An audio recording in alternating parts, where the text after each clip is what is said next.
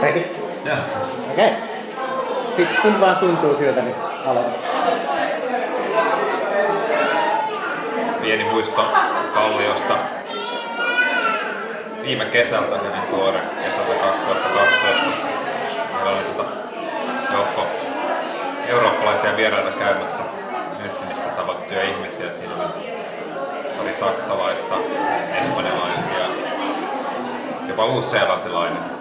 Useita kansallisuuksia oltiin ensin tuolla keskustassa. Sitten ajateltiin, että täytyy näyttää Kallion kaupungin osa. Kaipasi jotain sellaista kaurismäkeläistä ja mentiin sitten sinne kesäyönä Pub Sirdiisiin, eli ehkä maailman pienimpään pubiin Helsingin. Siellä oltiin viihty oikein hyvin. Oli tiivis, lämmin tunnelma ja